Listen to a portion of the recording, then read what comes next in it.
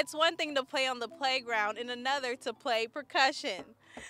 But this group of community activists have come together so that children could do both. The Watch Muskegon Play Project has kids finding the beat all across Muskegon. The initiative started with some Rotary Club members just having a little fun. We were at uh, a Rotary International Convention in Toronto, Canada, and we came across a booth that had these instruments in them and walked up and immediately started to play them and fell in love. That love turned into a two-year project, now complete.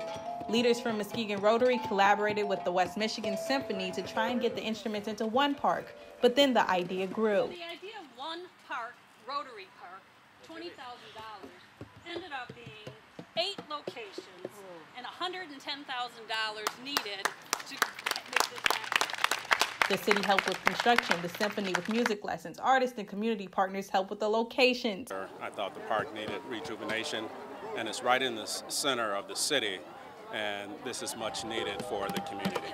The parents appreciate it. They are pretty cool. The girls came back with their dad last week telling us all about it and that we had to come check it out with them. They thought it was super cool. And not to mention the kids. I feel great when I'm playing music. Now people of all ages can stop by a park and play these all-weather outdoor musical instruments, even me.